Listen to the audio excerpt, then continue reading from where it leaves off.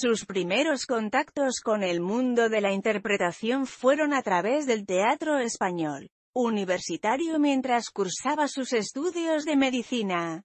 Tras abandonar sus estudios ingresa en la compañía del Teatro Español y más tarde en la del María Guerrero. Comienza de esta manera una sólida trayectoria teatral, plagada de obras notables que cosecharon gran aceptación en los escenarios españoles, destacando Tartufo, Soledad, 1953, De Unamuno, la fierecilla domada, 1953. De Shakespeare y medida por medida, 1955.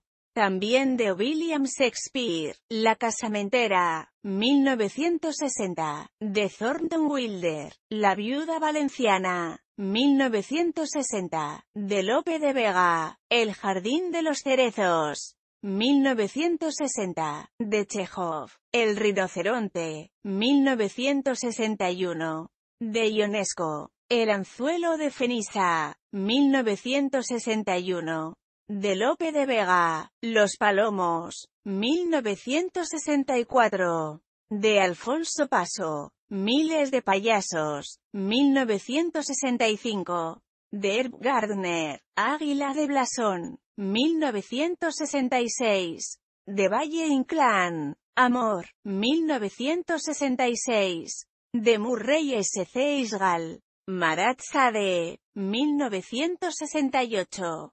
De Peter Weiss el mítico montaje dirigido por Adolfo Marsillac en el que encarnó el papel de Jean-Paul Marat. Romance de Lobos. 1970. De Valle Inclán. El sueño de la razón.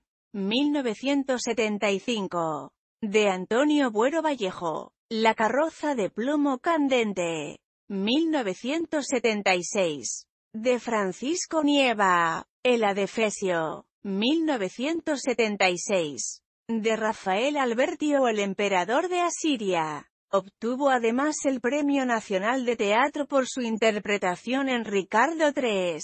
En cine debutó en 1954 con la película Cómicos, de Juan Antonio Bardem. Seguiría una larga carrera, con títulos como La Gran Familia, 1962, de Fernando Palacios, El Verdugo, 1963, de Luis García Berlanga, La tía Tula, 1964 de Miguel Picasso, que le valió el premio del Círculo de Escritores Cinematográficos. La caza, 1965. O Ana y los Lobos, 1972. Ambas de Carlos Saura. Fue también un rostro habitual en televisión española durante la década de los 60 y 70, con continuas apariciones en las obras representadas en Estudio 1 o novela además de protagonizar, junto a Elena María Tejiro,